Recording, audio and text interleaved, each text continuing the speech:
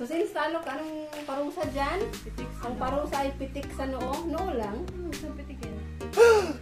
First syllable stress. Worcestershire. What? Igna. Me.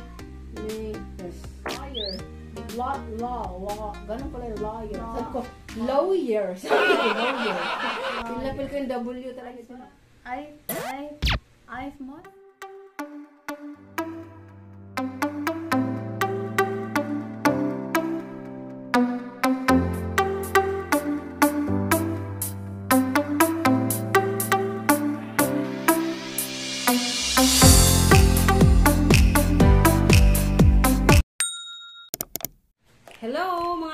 Vibes! Nandito na naman po kaming muli para sa aming panibagong challenge. So, ano ba yung challenge natin today, Judah? Um, challenge po namin today is pronunciation challenge. Yes! Ano? Ano ba yung mga words na i-pronounce natin?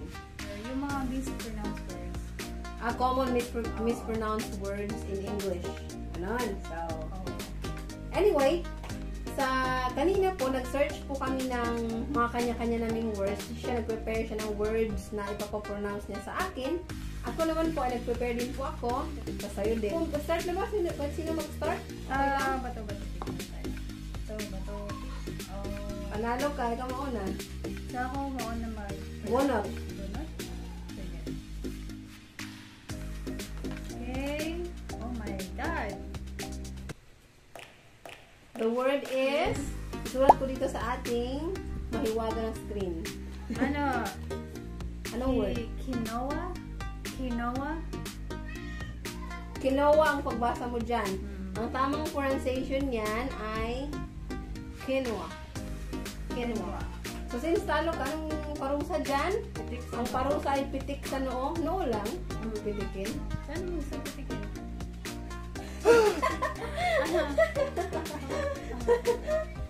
Kasi Bakit sa noo, ano, parang masakit sa noo eh. Saan mo ba gusto? Okay na. Sa kamay na lang. Kamay na lang. Huwag sa noo pa. Baka masugatan ang noo mo eh. Masakit? Easy basic. Hindi. Ako naman, buhat ako sa'yo. So, ang word ay victuals.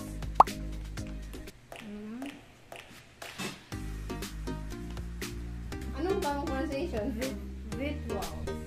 Ah, silent C. Wait lang ha, search ko sa... Ano, eto.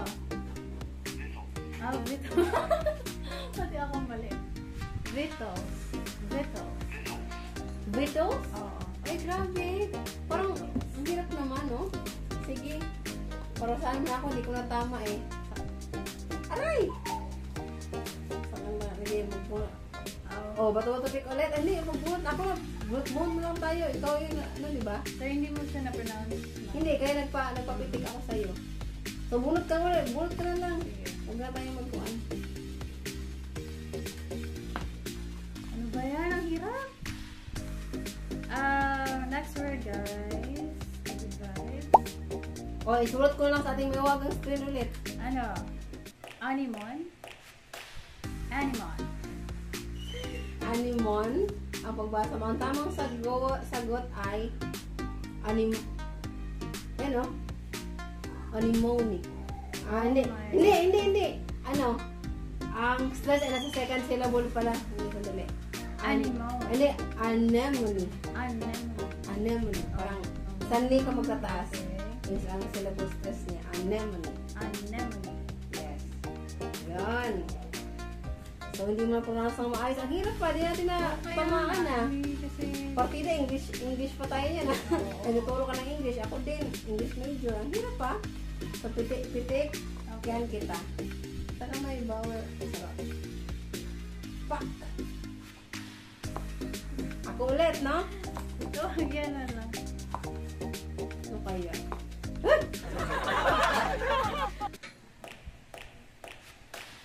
ano to? Ang word ay, isusulat ko ulit sa ating maliwagang screen. Dito ko isulat. O, yan, yan, yan. So, ang word ay, I think, recount. Ang tama. Sige, pakinggan natin. Ay, siya. Viscount. Ay, long I. Viscount. Viscount. Viscount. Oh, mali naman ako. Dapat... Na, short, na short eye ko kasi, pero alam ko sa... Na-encounter ko na kasi, alam ko silent S siya, pero di, hindi ko alam short eye pala. So, Ay, long eye pala. Na-encounter mo na yung word na yun, ano yung sabihin ng Viscount? Hindi ko nga alam, encounter ko lang. Hindi ko. Okay. ano, Pero, ano yung sabihin? wala siya actually explanation dito. Wala ba? Wala. Ba, lugar ba yan? Parang nakita ko mas statwa So, dyan. Viscount. Mira, ta- hindi ko alam yan. Pero naano ko yan, naano ko na yan dati. Tanong natin si Google Guy. Google. My God! Natin. So, Viscount is, ay, ibig sabihin po ng Viscount. Hindi, Viscount is, hindi, ano ko yun, spelling.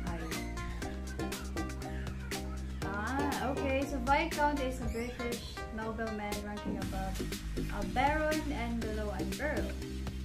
Hindi ko mag-get ang meaning. So, yan? Viscount is the fourth rank. Parang position nila. Hmm. sa ano daw, British 6. Okay, anyway, so next word. Si, ikaw lang buwan, di ba? Ako na.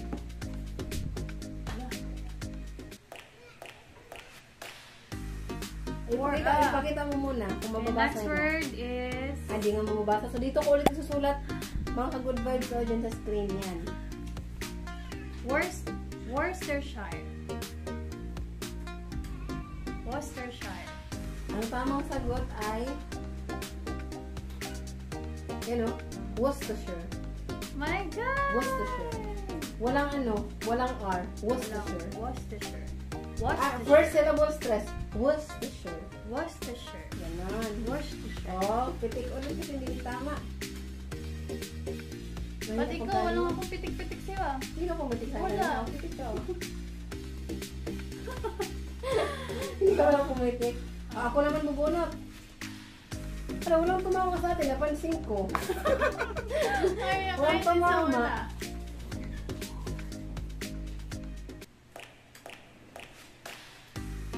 Ang word po ay, again, isusulat ko muli sa ating may wagang screen yan. Solder. Solder. No? Solder. Mhm. Hindi. It's, ano pa? Solder. Hindi naman yan solder, of course, kasi mahirap nga eh. So, Sodra. Hindi. Hindi. Solder. Solder. Oh. Parang suwa siya. Solder. Dito. Hindi. Kasi ano ko lang, kasi wala na ibang tama option eh. Sa. Solder. Solder. Sadder, yes. Parang isa suwa kasi eh. Schwa sound. Sadder. Sadder. Talaga? Tama. Sadder is isn't completely exotic. Uh, Hindi kasi nag-ano ako ng option, nagkasabi ko solder, hindi naman tama siyempre. Pag pag solder, hindi sabi mo hindi tama. Kaya sabi ko sa solder kasi Okay. ginawa kong short to. Wala nang ibang option eh kasi dalawang syllable lang eh. Oh, tama po siya, guys. Yay! May nanalo na. May tumama kahit paano bibigyan mo siya ng chance kaya nagkaroon pa ng ano. So, bunot ko sa akin. My God! Ano, ang hirap naman ito. Hirap nga eh. Pati ako may Ignanimous. Ang sabi mo? Ignanimous. Ignan. Ignanimous, sabi mo? Um, Oh, sige. O, iba, iba pa. Ano pa iba? um, Kasi binigyan mo ko ng chance tayo na ngayon, bibigyan kita ng chance. Isa ba? in, Inominous. Last chance na yun ha. Sige. Inominous. Ah, sige. Ang tamang pronunciation ay... Igna... Ito oh. Nasa mi ang ano, nasa mi ang syllables. Mm. Ignominious. Ignominious. Ah, ignominious. Ano siya, ilang syllables. Ignominious. Wow! Ignomin... Ignominious. Ignominious. Ignominious. Eh, ano mo, double check mo nga kung tama ako kasi Pinoy, ano, ano, Pinoy ang pronunciation natin. Check natin, guys. Basta nasa me ang syllable stress. Para marinig din nila ng ating mga ka-good vibes. Ah, okay, lang. Search natin. Ito yung word. Igno... Ig... Ignominious. Igno... Ignominious. Okay. Ignominious. Oh. Tama nga. Ignominious. Ignominious. Ignominious. Nasa, nasa niya ang ano. Ignominious means deserving or causing public disgrace or shame. Mm. Yan ang So? So, mali. Okay. Litik. So, ako naman ang bubunot. At least may tumama kahit pa paano.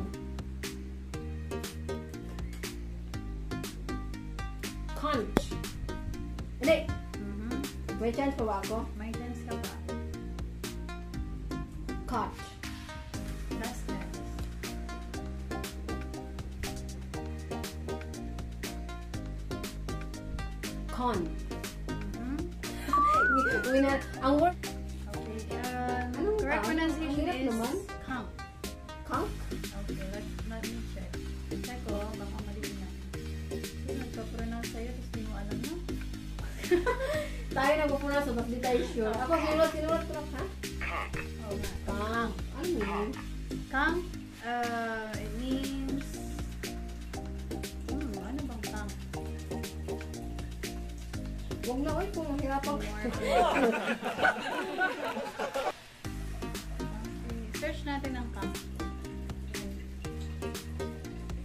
Ah, okay. So, ang conch is a tropical marine mollusk with a spiral shell that may bear long projections and have a flared lip. Animals. Animal Ah, siya. ano siya? Bronzy creature. Ah, ito pa yung Animal nga. Ayan. Yan siya. Okay. Mali ako, ipipitikin mo ako, di ba? Ay! Kala mo, sakit-sakit, eh, no? So, ako na naman mubunot. Mhm. Next word is Ang word po ay ito po. Again, sulat ko ulit yan sa ating magic screen. Alright. Naka-record naman tayo. Baka may website at website, di parang na-record eh, no? So, ang word na ito, wala parang hirap. Waistcoat. Waistcoat. Mhm. Waistcoat.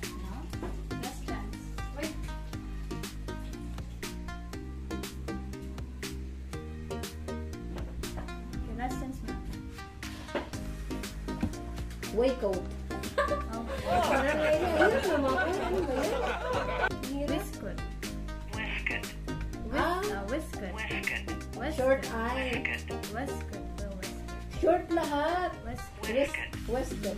Patingin naman dito. Westcoat. Ah, puro long, puro short lahat, although long ang spelling. Hirap pa. Mhm. Yung spelling niyo pa long, mali ako. Ay, aray. Sakit nun ha?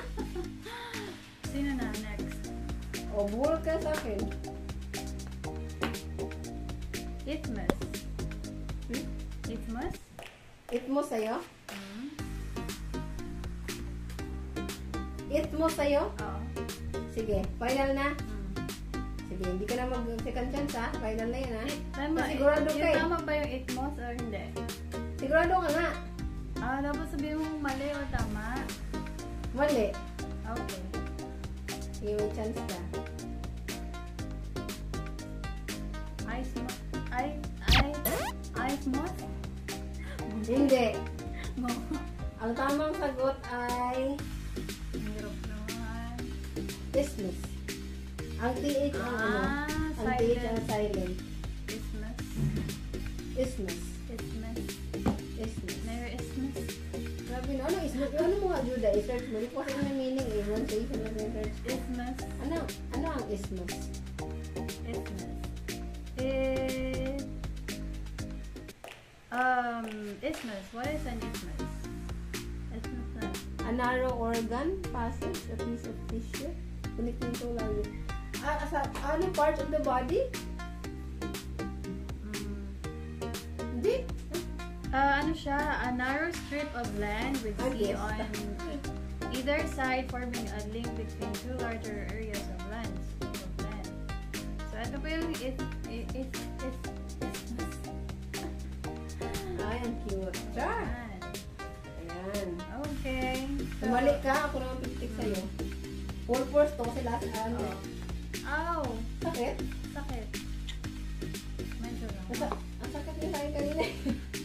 oh, bunot na ako. May last din ako dito eh. Pero itong word na to, very special to. Kaya mamaya, oh, bunot ano yun mamaya. Kasi may experience ako sa word na yan eh. Hindi ko yung malimutan sa buong buhay ko. May ikwento ko sa inyo kung paano yung embarrassing experience ko sa word na yan. Ano kaya yun? Ang word ay Susulat ko ulit yan para mabasa niyo mabuti. Bibigyan mo na ako ng chance, di ba? Ang una kong basa, of course, primer. Mhm. Siyempre, Mali. mali, di ba? Kasi basic siya. So, primer. Tama. Primer! Oh, galing. So, tumama ako ng primer. Dalawang beses na, dalawang beses na ako ng. Tumama ka ba sa akin? Tatama ka na sa huli kasi medyo madali lang to na-experience. Itong word na bubunutin mo pang huli, madali lang alam mo- Kaso, mayroon lang akong karanasan dito na kahiya-hiya talaga. Kaya, ito, pinapaano ko sa'yo para magkwento ko. Ano yun? Ano sabihin ng primer? Primer. Primer. Primer. Anong sabihin? Primer. Primer is a small book. A small book or broadly a short, informative piece of writing. Bro, mo hindi ko alam kung Primer. primer, pero natam na tumama pa ako. Ay, praise, praise God, no? Sige. Yung mga words ko kasi ano lang, maiksi sa yung mahaba. Sige. Oh God. Oh, ay, may pag-asang ako So, ganun. meron pa tayong last word. Oh, ala yan. Makakatama ka na dyan. Lasagna. Yes, lasagna. Tama ka dyan. O, ano meron sa Walang pitik ha. Ito kasi yung lasagna, kaya sinali ko to kasi may experience ako rito na nung college ako nakahiya-hiya talaga. Pero, ganito kasi nag, nag ano, di ba pag college, report, mag-report ka, na, bigyan ka ng topic ng teacher, tapos i-report mo. Kaya ang ang report ko yung grammar about ano verb tenses ang topic namin. Report na ako ganyan. Ang ano ko, ang sentence nun ay las, lasagna is delicious. Sabi ko, lasagna is delicious. Ganun. Kasi ang verb na ay linking, di ba? Yun ang report ko. Mm. About linking verbs ang report ko. Tapos, ito na. Sabi, sabi ko pa naman sa lasagna, is, kaya na-feel ko pa pagbasa, sabi ko, lasagna is delicious. Sabi ko, tawanan yung mga classmate ko. "Oh, ka, gusto mo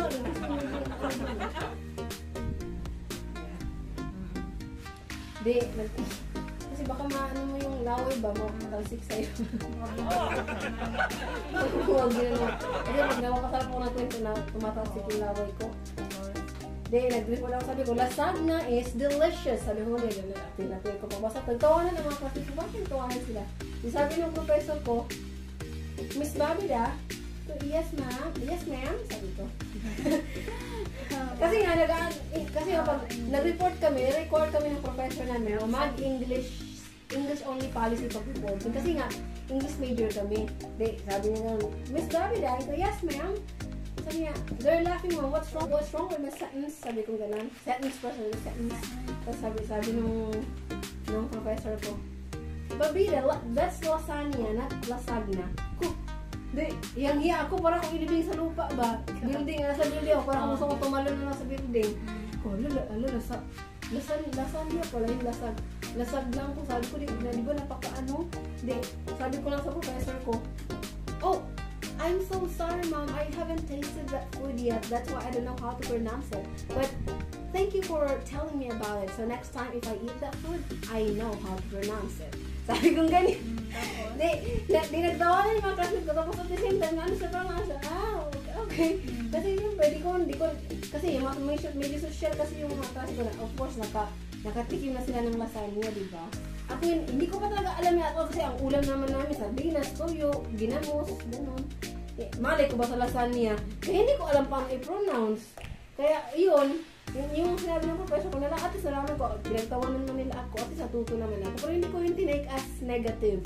Kasi, tinake ko yun as positive. Kasi at least nung tumawa sila, ate salamat ko na tumawa sila, tumawa sila dahil mali ako, di ba? Kasi sa patawa mo sila, di ba? Mm-mm. At saka ang pagtawa nila, di ba, natuto ako doon dahil, yun ang nag-react sila dahil mali ako. Kumbaga, hindi ko misinterpret yun na as, ano, yung, pero na, napahiya ako, pero okay lang kasi natuto naman ako, yun, yun lang yung ano ko, inisip ko, natuto naman ako sa word na yun.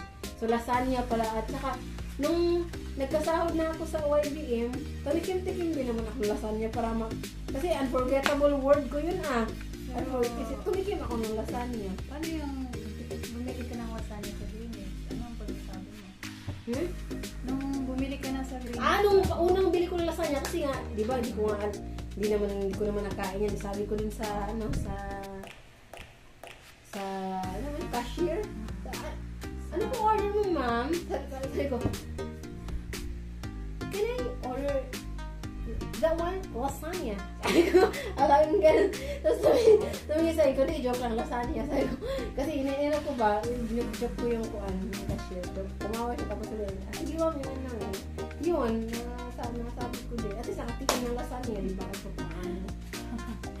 Lasagna pala yan. shoutout mo Lasagna. yung tumawag sa'yo ng yung order. Ay, shoutout ko yung tumawa sa akin. Marami sila. Class, buong klase tumawa eh. Kasi sabi ko, lasag na is. Sabi ko, lasag na. Lasag. Feel na feel ko pa yung G talaga eh. Lasag na is. Delicious. Sabi ko, Diyos mio. Yung talaga yung. Oo, kasi nga, talagang feel na feel ako pag report yung pala, feel na feel ko yung mali. kasi hindi ko nga natikman. Kung natikman pa yun. Yun. Yun lang naman na-experience ko about that word. Kasi nali ko talaga, sabi ko, hindi pwede, hindi ko to isali. Kahit alam ko na, kahit alam kong alam mo na yan, na word na yan, pero eh, dapat isali ko para ma, maano ko yun sa kanila. Pag-usapan lang naman. Yung kasi pag, pag Bisaya ka, di ba, ang hirap, ano, ang, ano ba, Bisaya ka, tapos biglang punta mo sa Manila. Oo. Tapos kapag ano sa Manila ka na, mga classmate mo, of, of course, bihira lang din Bisaya dyan. Kadalasan dyan, Tagalog, mga ano, kapag nabibisaya mo, natatawa sila. Yeah. Natatawa sila na ano, yung pagka, ano, pagka-deliver mo. Kasi ang titigas ng mga word natin eh, di ba? Ano ba, sabihin natin, opo, opo. Sabihin natin, upo. Hindi ba kung gulay ba o upo ka eh. Di ba natin alam Ay, mo nasa ano. class eh. Pag nagklase ako, Ah, sa oo, oo. yung pronunciation ko na, uh, imbis na, what can you see? Na ganun, what can you say? Ano man ganun? What can you Ah. say? Tapos ano, pag pool. Kasi pool, yung ganun. Ah, lagi kong mali dati na sa class, na klase ako yung ano, law, lawyer. Law, law, law. Ganun pala yung lawyer. Law. Sabi ko, lawyer. Sabi ko, lawyer. Pinapil ko yung W talaga dyan. Parang ano siya, di ba? Lawyer. Short, Short short. o sound. Lawyer. Lawyer. Sabi ko, lawyer. ano ba iyan? So, usually may problem ako sa ayos sa sa English. Ako din. O, at saka you din. Pero mas mas higit sa akin ang ay at Ay. Ay, hindi talaga ang mahirap eh. Pag mga bisaya-bisaya. Ganun. ay, So, really? Paano yun? na ano tuloy ako? Ready? Ano sabi? Hindi yung, kasi yung ESL teacher. Ah, yung ano, yung mga Kasi ano-ano. yung pangalan doon ng estudyante is, ah, Jenny ah, J-E-N-N-Y. Tapos E? sabi- Sabi ng student niya, no. Ah, sabi ng teacher, you are Jenny, right? Tapos Ah, sabi- basta Jenny. oh. Oo. Sabi niya, no, it's Jeannie. Tapos sabi niya, okay, Jeannie, are you ready? Ay, oo. Oh, Paano yun? na ano ko yan. Na, parang na, ano, parang na ano ko ngayon. Kasi nga, na ano siya, nag-stuck siya dun sa genie. eh. Kaya, ang, ganyan, na problema rin ako sa ganyan. Pag, Oo. ang word na yun, diba, nasabi ko genie, matitigasan ko na rin yung kasunod. Kaya, pag sabi ko, genie, are you ready? Hindi talaga malabo sasabi ko din yun. Kasi, kumbaga, nasanay na matigas sa una, matitigasan sa pangalawa. Ganun, di ba? O, hindi ko masisi yung teacher na, Genie, are you ready? Kasi hindi talaga, mahirap mag-shift ba, di ba? From, from hard to soft. Kung kumbaga hard, hard, hard pa. Ganun ba? Di ba mahirap pag-shift ng voice? Ah, ng ano, ng pronunciation. Kaya, yun, naintindihan ko yung teacher na yun. Hindi ko naman siya, tumawa ako, pero hindi yung tawa na talagang nagbubuli. Kaya, natuwa ka ba? Dahil, ganun, ganun ka din, ganun. Dahil nakarelate ka. Ganun ang pagtawa ko nung, nung narinig ko yan. Nakarelate ako sa kanya. Kasi Bisaya talaga eh. Kasi sabi na, may naalala ko dati. Ang sabi niya, Nagka-clash na siya. Sabi niya, siya ng college. College. Ano? college. College. Alam, Bisaya ba? Ah, Bisaya nga kasi. Hindi kasi talaga maiwasan. Pero acceptable na yun ngayon. Hindi, bihira na lang mga ano. Kasi ano na, mother tongue na ang tinuturo ngayon eh. Acceptable na yung mga ganyan. Pero di, di pa rin iwasan minsan na mag, na ano ba na, na, tawag doon, na bully ka. Pero, tanggapin na lang natin. Naman talaga eh. So. Yes. Winning, or kaya nga nag-practice na akong practice ng mula nun eh. Kasi, yun na nga, mahirap ko kasi. Na ganyan lagi. drama na ako. So, sa Good Vibes, yan na, yan na po lahat ang aming pronunciation challenge. Meron ka bang gustong i-shout out dyan? Ah, Shout out? shout out po kay ate. Ano? Ah, si Ate, Ate Beth? Si Ate Bano. Ate Shout out Bano. Ate Bano. Ah, mag, mag, magigas yan sa vlog natin next time. Nakalimot ko sa yung pangalan. Ate Bano. Beth, Beth, Ate, Ate Beth, Beth. yun. Hindi, ang ko may tunay pa siya pangalan, pero Beth, ang kanya ang gata eh. At si Ate out, Urbano. Urbano ba ang pili niya? Baka di atin ko lang sila. Hello. Ko? Oh, pero love namin guys. Oo naman, magigas niyo sa vlog namin next time. Oo. Yan. So, anyway, ako naman, i-shout out ko yung, ano, yung mga nagpapa-shout out sa akin, si Kyla, d- yung editor namin dati. Kyla. Alam mo, Kyla, thank you kasi tinuturan mo akong mag, ano, tawag dito? Mag-edit. Na, mag-edit ng vlog kasi uh, na, nahiya na ako umasa lagi sa iyo eh. Pero thank you dahil isa ka sa mga editor ng aming vlog. Pero ngayon, pinapractice ko na na ako na lang ang mag-edit. yan. So, yung mga estudyante ko sa Kupang, yan. Shout out ko din kung sila ay nanonood ngayon. Hello. Hello. So, sa ngayon guys, yan muna ang aming vlog for today about pronunciation challenge. Sana ay kayo ay mayroon mayroon ding kwentong pronunciation. Ganon. Kasi ako, ang dami ko talagang kahihiyan dati sa pronunciation. Kasi alam niyo na, Bisaya. Ang daming nami-mispronounce na words. Kaya kung kayo ay may kwentong ganyan, pwede nyo i-share sa amin. Mag-comment kayo below. Ah, di ba? So, don't forget to subscribe. Ikaw ba like? Like Like. and share. And, uh, gawin tayo dalawa. Share our channel. Yan. And of course, don't forget to hit the bell button. o ano sabi ni Eric? Don't forget to hit hit the notification bell. Ano ba yun? Ang ganun pa sabi ni Eric dun. Si Eric. Ah, si Eric. Anak ni Teacher Ah, Britney. akala ko si Eric Gonzalez. Hindi, si notification. Ang galing na pagkasabi Hit. Ano? notification daw. Pa, ang galing niya, no? Hit the notification bell. O, Hit, hit niya yan, ha? Oy, Eric, Wala, turuan mo sabihin. kami paano mag-pronounce mo na. Mm-mm. Sabihin ko sana, hit, hit the notification. Buti napigil mo. Hit the notification bell. Hit, hit na naman sasabihin ko. Ano ba yan? Hindi talaga maiwasan. So guys, yan mga sa ngayon ha. Ay, kita-kita tayong muli sa aming susunod na vlog. Ako pa rin si Razel. Ako si Jude. At ito ang aming Good Vibes Vlog. bye bye. Bye bye, bye, -bye.